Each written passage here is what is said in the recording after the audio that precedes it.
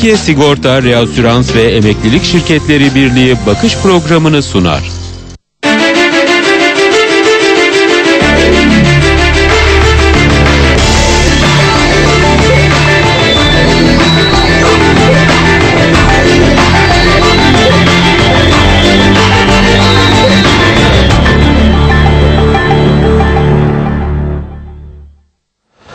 Efendim günaydın. Haftanın ilk iş gününün bakış programına hoş geldiniz.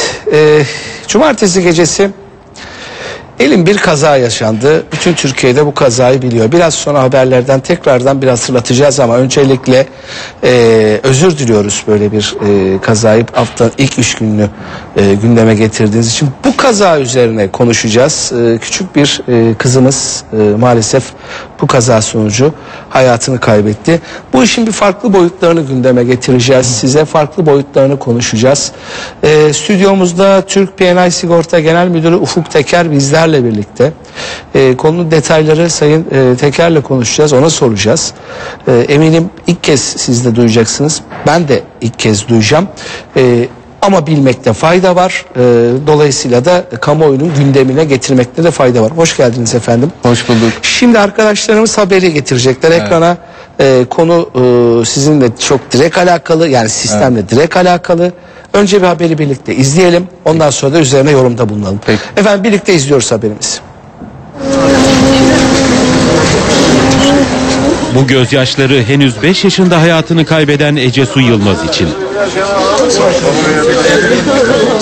Sirkeci'de arabalı vapura binerken denize düşen otomobilde hayatını kaybeden Ece Su Yılmaz toprağa verildi. Küçük kızın ailesi ayakta durmakta güçlük çekti. Baba Aydın Yılmaz uzun süre kızının tabutuna sarılıp ağlarken anne Ebru Güleren Yılmaz fenalık geçirdi. Ambulansta bir süre müşahede altında tutulan anne Yılmaz daha sonra yakınlarının yardımıyla tekrar cami avlusuna geldi. Cenazeye aralarında çok sayıda oyuncunun da bulunduğu anne Ebru Güleren Yılmaz'ın mesai arkadaşları da katıldı. Küçük Ece Hacı Ömer Çetinsaya Camii'nde kılınan ikindi namazının ardından Halkalı'da toprağa verildi. Aynı kazada ağır yaralanan anneanne Şaziye Güleren'in tedavisi ise devam ediyor. Kazanın nasıl meydana geldiği konusunda ise soruşturma başlatıldı. Ulaştırma Denizcilik ve Haberleşme Bakanlığı bir inceleme ekibi görevlendirdi. Ekip ilgili personelin ifadesini aldı ve vapurda incelemelerde bulundu. İstanbul Cumhuriyet Başsavcılığı da adli soruşturma yürütüyor. Bu kapsamda vapurun kaptanı ve iki kişi önce adliyeye ardından tutuklanmaları istemiyle mahkemeye sevk edildi. Ama tutuksuz yargılanmak üzere serbest bırakıldı ve yurt dışı yasağa getirildi. Kazanın hemen ardından İDO'dan ilk olarak güvenlik kamerası yok açıklaması yapılmıştı. Ancak arabalı vapurların hepsinde tam kapak kısmında çift kamera bulunuyor. Burası kazanın meydana geldiği iskele. Yetkililer olaydan sonra kamera sistemi bulunmadığını ifade etmişti. Ancak her arabalı feribotun tam rampasının bulunduğu bölgede gördüğünüz gibi iki tane kamera yer alıyor. Aynı kameralar kazanın meydana geldiği Sadabat vapurunda da yer alıyor. Üstelik kameralar sadece vapurlarda yok. Feribotların yanı sıra alanda da yani iskelenin çevresinde de giriş çıkışları araçların ilerleyişlerini gözetleyen kameralar yer alıyor. İDO daha sonra bir açıklama daha yaparak kaza anının görüntülerinin kendilerinde olduğunu, vapurda kamera bulunduğunu ve görüntülerin yetkililere teslim edildiğini duyurdu. Evet efendim e, bir kere daha hatırlattık zaten Türkiye e, cumartesi günü bu e, haberle bu e, trajik e, olayla e, karşılaşmıştı ve yüzleşmişti. Çok üzücü bir olay Evet gerçekten. Ufuk Bey e, bir kere e, a- e, aileye başsağlığı Kesinlikle diliyoruz. E, sonra çok sabır acı bir diliyoruz. olay. Her, hepimiz çocuk sahibiyiz. Evet. E, böyle olayların yaşanması da çok acı. Şimdi e, tabii e, ölümün üzerine konuşacak bir şey yok. Bir kere onu biz bir kenara bırakıyoruz. İzleyicilerimizin de affına sığınıyoruz. Yani konu işleyeceğimiz konu farklı. Şimdi bu alan sigorta gözüyle baktığımızda sizin alanınıza giriyor. Evet. Çok basit olarak söyleyeyim. Çok basit olarak sorayım. Şimdi e, bu bir kaza yani tabii soruşturma sürecektir, şudur budur onu bilemem. Evet. Bu bir olay gerçekleşmiş. Bunun sigortacılıkla ilgili bağlantısı çünkü sizin şirketinizle Evet. alakalı e, sigorta sizde miydi değil miydi onu bilmiyorum. Evet, Onlar- bizde. Sizde mi? Evet, ha, evet. Yani, e, şimdi biraz bize anlatır mısınız? Bir bağdaştırın. Bir, bir Ee, şu resmi bir çıkaralım. Ee, öncelikle bir P&I sigortası nedir?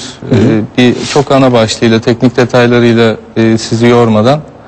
P&I sigortası deniz araçlarının trafik sigortası diye çok basit bir başlıkta söyleyebiliriz. Çok daha kapsamlı.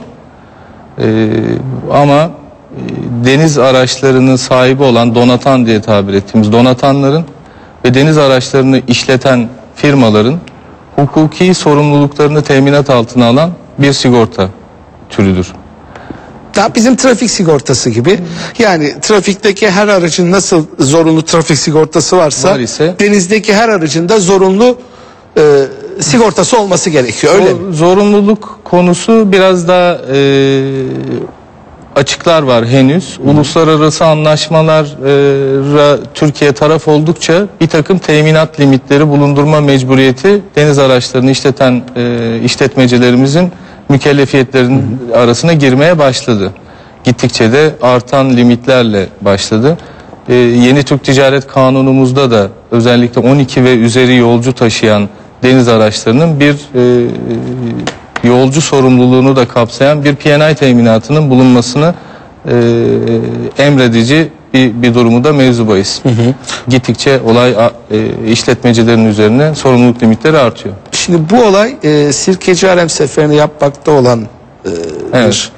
bir e, arabalı vapurun da geri gerçekleşiyor. Feribot, arabalı evet. vapurlarda feribot arabalı vapurlarda bu zorunlu sigortayı yaptırmak zorunda mı? Tabii ki e, İDO bu konuda İstanbul Deniz Otobüsleri işletmesi bu konuda en hassas ve öncü kuruluşlardan bir tanesi aslına bakarsanız.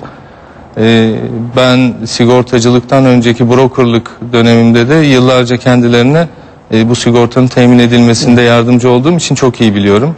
Çok hassas oldukları, limitlerine çok dikkat ettikleri e, ve sahip oldukları bir teminattır, doğrudur. Var. Yani bir sorumluluk sigortasını yaptırdılar. Şimdi bu kaza cumartesi günü yaşadığımız bu elim kaza da bu sigortanın kapsamı içinde mi? Kesinlikle. Daha doğrusu bu sigortanın kapsamının içine ne giriyor? Bir de öyle başlıyor. Öyle başlarsak daha doğru olacaktır. E, trafik sigortasından örneklemiştiniz biraz evvel. E, trafik sigortası sadece e, aracın üçüncü şahıslara vermiş olduğu zararı karşılar. E, tabii çevre sorumlulukları vesaire de teminatlar olmakla birlikte çok fazla kullanılmıyor. Ama denizde e, çevreye verilen hasarlar da, e, zararlar da, onların temizlenme maliyetleri de P&I sigortası teminatı altındadır ki e, bizim şu anda temin ettiğimiz limit yarım milyar dolara kadar bir e, teminat limitiyle e, poliçe e, kesiyoruz, tanzim ediyoruz şu aşamada. E, buna ilaveten taşıdığı yük ki e, şayet deniz aracının notasyonu tipi e, bir yük gemisi ise taşıdığı yük, yolcu gemisi ise taşıdığı yolcu, romorkörse çeki yaptığı çeki olarak yüküne karşı da işletmecinin hukuki sorumluluklarını teminat altına alıyor. Ayrıca personelinin de başına gelen ölüm, yaralanma ve daimi sakatlıklarda e, sosyal sigortalar limitini aşan kısmı yine teminat altında bulunuyor. Şimdi bu kazada da e, sizler herhalde devreye gireceksiniz. Girdiniz mi? Evet ve hukukçularımız ve e, konuyla ilgili e, eksper arkadaşlar tayin edildi. E, bunlar gerekli incelemelerini yapıyorlar. Nedir bundan sonraki süreç? N- Nasıl bir yol izlenecek? Tabii ki e, şimdi tekrar bir e, Türk PNI üzerinden ilerlemek istiyorum burada. E, daha önce bu tip sigortaları yabancı sigortacılar temin ediyordu e, Türkiye'de. E, çok yeni bir oluşum 31-12-2013 tarihinde şirketin ticaret sicil kuruluşu yapıldı. E, 18 Şubat itibariyle de e, faaliyet ruhsatını hazine tarafından elde etmiş bir şirkettir. E, Türk PNI devreye girdikten sonra yani bu poliçeleri e, piyasada e, tanzim etmeye başladıktan sonra sigortacılık piyasasında e, şöyle bir farklılık doğdu Noyan Bey. Bence çok kritik bir farklılık. Daha önceki dönemde mağdurlar e, haklarını e, işletmelere dava açmak yoluyla çözümlemeye Denizcilik işletmesini açıyordu. Bu- Evet. Buradan yola gidersek Evet. peki. Ee, eğer sigortacıyla oluşan bir uyumsuzluk, hukuk, e, an- hukuk- hukuksal anlamda bir uyumsuzluk ortaya çıkarsa da e, tanz- poliçenin tanzim yeri mahkemesi olan sigortacı İngilizse İngiltere'de, İskandinav kökenli bir sigortacıysa orada, Rus Romen kökenli bir sigortacıysa da e, yerel mahkemelerinde, poliçe tanzim yeri mahkemelerinde e, haklarını arayabilirlerdi. Hukukçu olmamamla birlikte e, Ama işin işin zaten. içinde olduğumuz için uygulamada bu şekilde yürümekteydi. Şimdi Türkiye'de bu tarz bir e, sorumluluk sigortacısının bulunmasının e, büyük bir avantajı. Bir kere Türk Ticaret Kanunu'na Sizle göre muhatap olacaklar. Bizimle yani. de muhatap olabilecekler evet. Direkt Şimdi burada tarafı. e, şimdi burada anladığım kadarıyla e, hem yanlışsam düzeltin hem denize düzen, düşen araç hem de vefat eden kızımızın kızımın sigorta kapsamında. Doğru mu anlamışım? Doğru tabii. Peki. İşletmenin sorumlulukları çerçevesinde e, teminat altında hepsi. Peki bu e, herhalde bir e, benim bildiğim sorumluluk sigortalarında vefat tazminatı vardır. E, bu, bu araştırmanın sonucunda bir herhalde e, bir vefat tazminatı mı ödenecektir? Kesin yani tahminimiz o yönde. Ee, eksperler e, raporlarını tanzim ettikten sonra e, müteveffanın e, yaş grubu ve Evet. e, aktüel hesabı daha doğrusu sigortacılık terimiyle yapıldıktan sonra tazminatları ödenecektir. Peki e, aynı şekilde e, mesela trafik sigortası da e, maddi kaza çok düşüktür ve kendi kusur dahilinde değildir. Yani e, fazla bir önemli değildir. Onun için kasko yapılır. Burada da araç sizin güvenceniz altında mı? Sigorta kapsamı içinde mi olmuş oluyor? E, denize düşen araç e, deniz aracının yani feribotun taşıdığı yük olarak teminat altındadır. Ama e, deniz aracının kendisi kendi gövde sigortası vardır. Zaten onda fiziki bir hasar olduğunu Bir yok evet. Peki şimdi burada e, bir birden aklıma geldi. Şimdi burada eğer e, deniz aracının yani arabalı vapurun, feribotun kullanımından kaynaklanan bir hata kaptan hatası ise Evet. siz bu ödediklerinizi dönüp kaptana rücu mu edeceksiniz ya da o işletmeye rücu mu edeceksiniz? Rücu var mı sorumlulukta sizin sorumluluğunuzda? E, rucu hakkı tabii ki her halükarda sigortacıların sahip olduğu haklardan bir tanesi. E, fakat e, kaptan donatan temsilcisidir. Dolayısıyla işletmecinin bir parçasıdır. E, Donatan dediğimiz şu anda burası için İstanbul İD- Deniz Otobüsleri. İDO evet. diyoruz evet. Evet. İstanbul Deniz Otobüslerinin bir uzantısı olarak görüyoruz. Zaten bir, e, bir, bir dönüp de kaptana bir ucu ihtimali olduğunu düşünmüyorum ben. Yani Bildiğim kaptan bir kaptan ama şeye e, İDO'ya bir rücu olabilir değil mi? Yani hatadan do- dolayı. Sigortacı olarak bizim mi? Evet sizin. Biz zaten onların hukuksal bir sorumluluğu doğar ise onların hukuksal sorumluluğunu İDO'ya tazmin ediyoruz. Dolayısıyla şey onlara bir onlara değil onlara ama bir- iş- işletmeye şey yapabilirsiniz. e, E, bu olayın ederiz. özelinde bakarsak bir bir rücu ihtimali olduğunu gö- göz- göremiyorum ben yani. Ha, öyle mi? Rücu yok İDO'ya karşı. Çünkü İDO İDO'nun e, atamış olduğu kaptan kumandasındaki gemide oluşan bir hadise var ve kaptan kusuru olduğunu varsayalım. Varsayalım. Hani detayı detayını çok e, vakıf değilim şu aşamada. E, dolayısıyla kaptanın kusurundan dolayı işletme kusurlu oluyor burada. Biz işletmenin kusurundan doğan hasarı tazmin ettikten sonra e, son kullanıcı olarak bizde kalıyor hasar. Peki bu arada e, Ufuk Bey bildiğimiz kadarıyla kaptansınız değil mi? Evet, Evet, o izleyicilerimize onu da söyleyelim. Yani aynı zamanda Evet. Ufuk Bey hem e, şirketin genel müdürü hem de kaptan. Teminat limitleri nedir? Sizin sorumluluk sigortanızda. Ee, biz, Türk Piyano olarak biz yarım milyar dolara kadar yani 500 milyon dolara kadar deniz araçlarına e, teminat sağlayabiliyoruz. Tabii ki burada baktığımız kriter her deniz aracına yarım milyar dolar teminat sağlıyoruz gibi bir anlam çıkmaması gerekiyor. Bu bizim TRT kapasitemiz. E, kota Mesela şehir bu feribotun feribotun yarım milyar dolar. yarım milyar dolar. İçindeki tüm araçlar ve kişiler hepsi dahil olmak üzere. Evet. Kaza başına mıdır? Kaza başına. Hadise başına, Hadise, olay kaza başına. başınadır. Olay başına. Kişi başına teminat. Ee, bu çok net bir şekilde Türk Ticaret Kanunu tarafından e, yolcu sorumlulukları netleştirilmiş durumdadır. 12 ve üzerinde yolcu taşıyan deniz araçlarının her bir yolcu başına e, SDR diye tabir edilen e, uluslararası çekme hakkı 250 bin SDR e, limite kadar sorumluluk sigortası bulundurmak mecburiyetleri var. Ve bu mecburiyet bir üst limiti olmaksızın 250 bin SDR çarpı yolcu adedi taşıma kapasitesi kadar yolcu taşıma kapasitesi kadar olmak zorundadır.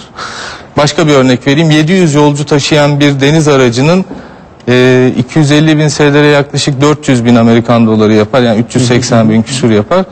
E, 700 yolcu taşıyan bir deniz aracının 280 milyon dolar gibi bir sorumluluk sigorta teminatına ihtiyacı var. Peki e, Ufuk Bey bütün bizim yani Marmara olsun bütün denizlerimizdeki araçların su araçlarının deniz araçlarının hepsi sigortalı mı?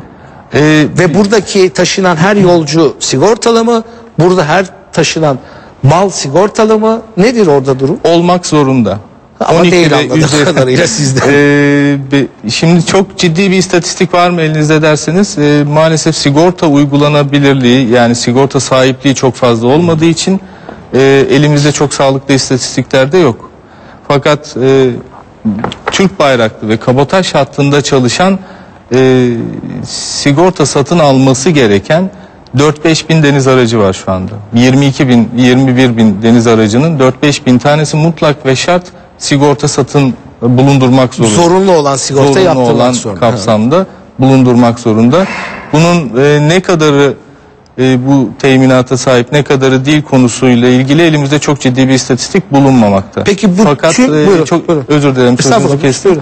E, örneğin turistik bölgelerde şimdi sezon e, Evet. çok yaklaşıyor. Nisan ayından itibaren çalışma ruhsatlarını da e, alacaklar. E, yolcu taşımacılığı yapan, günlük tur yapan, haftalık tur yapan tekneler e, her birinin bu teminata ihtiyacı olduğu biraz evvel sizin de haberde gösterdiğiniz elim hadiseden de gördüğümüz üzere e, çok ciddi bir zorunluluk, ihtiyaç ve bulunması gerekiyor. Peki bizim e, Marmara'da denizdeki bu e, vapurlar, deniz otobüsleri ve hani e, sandallar vardır. Sandal mı denir? E, Evet. Karşıdan karşı işte Beşiktaş'tan e, Yolcu Üsküdar'a kadar motorları diye yolcu motorları vardır. Bunların hepsi bu sigorta yaptırmak zorunda mı? Zorunda ve e, birçoğu bir Türk PNI devreye girdikten sonra e, şehir hatları işletmesi, e, Dentur Avrasya, e, Çanakkale'deki Geztaş Deniz İşletmesi gibi e, saygın kuruluşlar e, bu sigortalarını temin ettiler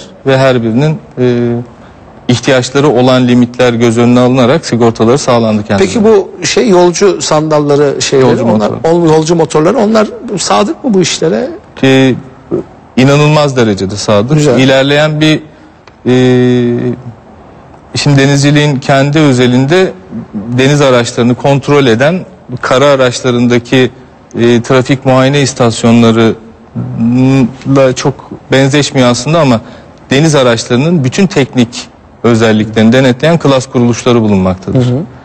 E, Türkiye'de lokalde böyle bir PNI sigortacısının olmasının e, büyük faydalarından bir tanesi bizim bakış açımız tabii ki bir sigortacı bakış açısıyla bakıyoruz. E, son hadiseden de çıkarttığımız bir takım dersler ve işletmeyle paylaştığımız tavsiyeler mutlaka olacaktır zaman içerisinde. Benzer araç taşıyan ve yolcu taşıyan deniz araçlarına da bir takım e, şartlar öne koyuyoruz. Mesela zeminlerin çok özür dilerim zeminlerin kay- kaymaz olması. Ha, evet. Yolcu ve aracın e, girerken birbirlerinden farklı alanlarda yolcuların ilerlemesi araçlarında kendilerine özel bir alandan gitmesi gibi ve daha yangın önlemleri ve acil durumlarda yapılması Yani sigorta gerekenler yapmak için gibi bu şartları ortaya koyuyorsunuz ki biz herkes onları şey denetliyoruz. yapsın. evet çok Ee, güzel. Ve deniz araçlarında da özellikle Dentur Avrasya özelinde konuşabilirim.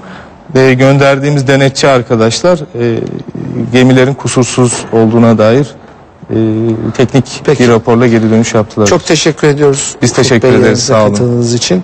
Ee, efendim dedik farklı bir konuyla işin e, sigortacılık boyutunu ekranlara getirdik. E, tazminat ve teminat boyutunu getirdik. O yüzden işin vefat boyutu için diyecek bir şeyimiz yok. Ee, yarın aynı saatte görüşmek üzere efendim. Hoşçakalın.